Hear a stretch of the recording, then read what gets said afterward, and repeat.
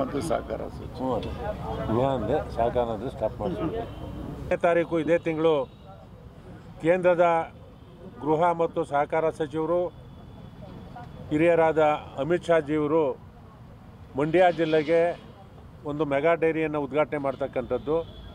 ಮತ್ತು ಮಂಡ್ಯ ಜಿಲ್ಲೆಯ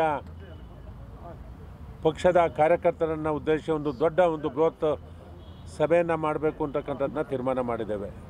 ಪಶ್ಚ ಅವರೇನೋ ಮೆಗಾ ಡೈರಿ ಉದ್ಘಾಟನೆ ಮತ್ತು ಮೆಗಾ ಡೈರಿಯ ಉದ್ಘಾಟನೆ ಮತ್ತು ಸಾರ್ವಜನಿಕ ಸಭೆಯನ್ನು ಉದ್ದೇಶಿಸಿ ಮಾತನಾಡಲು ಅಮಿತ್ ಶಾಜಿಯವರು ಏನು ಬರ್ತಾ ಇದ್ದಾರೆ, ಈ ಕಾರ್ಯಕ್ರಮವನ್ನು ಅತ್ಯಂತ ಯಶಸ್ವಿಯಾಗಿ ಮಾಡಬೇಕು ಅಂತಕ್ಕಂಥ ನಿಟ್ಟಿನಲ್ಲಿ ನಾವು ಕಳೆದ ಎಂಟತ್ತು ದಿನದ ಹಿಂದೆ ಪಾಂಡವಪುರ ಮತ್ತು ಮದ್ದೂರಿನಲ್ಲಿ ಸನ್ಮಾನ್ಯ ಮುಖ್ಯಮಂತ್ರಿಗಳು, ಮಾಜಿ ಮುಖ್ಯಮಂತ್ರಿಗಳಾದ ಯಡಿಯೂರಪ್ಪ ಅವರು, ಬಸವರಾಜ ಬೊಮ್ಮಾಯಿಯವರ ಒಂದು ನಾಯಕತ್ವದಲ್ಲಿ ಎರಡು ಸಭೆಗಳನ್ನು ಮಾಡಿದ್ರು ಅದೇ ರೀತಿ ಇಡೀ ಜಿಲ್ಲೆನ ಒಂದು ಕಡೆ ಏಳು ಕ್ಷೇತ್ರದ ಎಲ್ಲ ಹಿರಿಯರನ್ನ, ನಮ್ಮ ಪಕ್ಷದ ಮುಖಂಡಗಳನ್ನು ಒಂದು ಸೇರಿಸಿ ಚುನಾವಣಾ ದೃಷ್ಟಿ ಇಟ್ಕೊಂಡೆ ಇದನ್ನ ಇದು ಮಾಡ್ತಾ ಇರ್ತಕ್ಕಂಥದ್ದು. ಕೇಂದ್ರದ ಹಿರಿಯರು ಬರ್ತಾ ಇದನ್ನು ಇದನ್ನ ಅತ್ಯಂತ ಯಶಸ್ವಿಯಾಗಿ ಮಾಡಬೇಕು ಅಂತಕ್ಕಂಥದ್ದು ಸಂಬಂಧವಾಗಿ ಈಗಾಗಲೇ ಚರ್ಚೆಗಳಾಗಿದ್ದಾವೆ.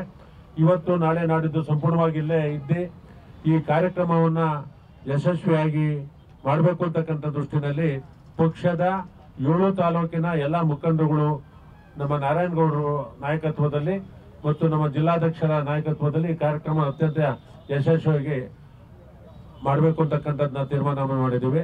ಅದಕ್ಕೆ ತಮ್ಮೆಲ್ಲರ ಸಹಕಾರವನ್ನು ಬಯಸ್ತೇನೆ ಸರ್ ಕಾರ್ಯಕ್ರಮಕ್ಕೆ ಯಾವೆಲ್ಲ ಸಚಿವರು ಭಾಗಿಯಾಗ್ತಾರೆ? ಮತ್ತೆ ಎಷ್ಟು ಒಂದು ಲಕ್ಷಕ್ಕಿಂತ ಹೆಚ್ಚು ಜನ ಸೇರ್ತಕ್ಕಂಥ ಕಾರ್ಯಕ್ರಮವನ್ನು ಮಾಡ್ತೇವೆ. ರಾಜ್ಯದ ಮುಖ್ಯಮಂತ್ರಿಗಳು ನಮ್ಮ ನಾಯಕರಾದ ಸನ್ಮಾನ್ಯ ಬಸವರಾಜ ಬೊಮ್ಮಾಯಿ ಸರ್ ಅವರು, ಮಾಜಿ ಮುಖ್ಯಮಂತ್ರಿಗಳು ನಮ್ಮ ನಾಯಕರಾದ ಯಡಿಯೂರಪ್ಪ ಜಿಯವರು ಪಕ್ಷದ ಅಧ್ಯಕ್ಷರಾದ ನಳಿನ್ ಕುಮಾರ್ ಕಟೀಲ್ ಕಟೀಲ್ ಜಿಯವರು ಮತ್ತು ಕ್ಯಾಬಿನೆಟ್ನಲ್ಲಿರ್ತಕ್ಕಂಥ ಎಲ್ಲ ಸಚಿವರು, ಭಾಗಶಃ ಎಲ್ಲ ಸಚಿವರು, ಗೋವಿಂದ ಕಾರಜೋಳ ಅವರು, ಅಶೋಕ್ ಅವರು ಅಶ್ವಥ್ ನಾರಾಯಣ ಅವರು, ಸೋಮಶೇಖರ್ ಸೋಮಶೇಖರ್ ಸೋಮಶೇಖರ್ ಅವರು ಭಾಗಶಃ ಎಲ್ಲರೂ ಈ ಕಾರ್ಯಕ್ರಮದಲ್ಲಿ ಈ ಭಾಗದಲ್ಲಿ ಇರ್ತಕ್ಕಂಥ ಹಳೆ ಮೈಸೂರಿನ ಭಾಗದಲ್ಲಿ ಇರ್ತಕ್ಕಂಥ ಎಲ್ಲಾ ಸಚಿವರು ಈ ಕಾರ್ಯಕ್ರಮದಲ್ಲಿ ಭಾಗಿಗಳಾಗ್ತಾರೆ.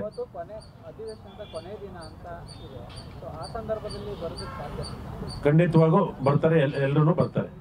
ಈಗಾಗಲೇ ನಾವು ನಿನ್ನೆ ಬರ್ತಕ್ಕಂಥ ಸಂದರ್ಭದಲ್ಲೇ ಈ ಕಾರ್ಯಕ್ರಮಕ್ಕೆ ಬರಬೇಕು ಅಂತಕ್ಕಂಥದ್ದು ಹೇಳಿದ್ದೇವೆ. ಇವತ್ತು ನಮಗೆ ಕರ್ಮಾರ್ಭ ಮೂರನೇ ತಾರೀಕು ಅಂತ ಅಂದ್ಬಿಟ್ಟು ಇವತ್ತು ಈಗ ತಾನೇ ಬಂದಿದೆ ಮೆಸೇಜ್ ಬಂದಿರೋದ್ರಿಂದ ಇನ್ನು ಎಲ್ಲಾ ಮುಖಂಡಗಳನ್ನ ಈ ಕಾರ್ಯಕ್ರಮಕ್ಕೆ ಆಹ್ವಾನವನ್ನ ಕೊಡ್ತೇವೆ.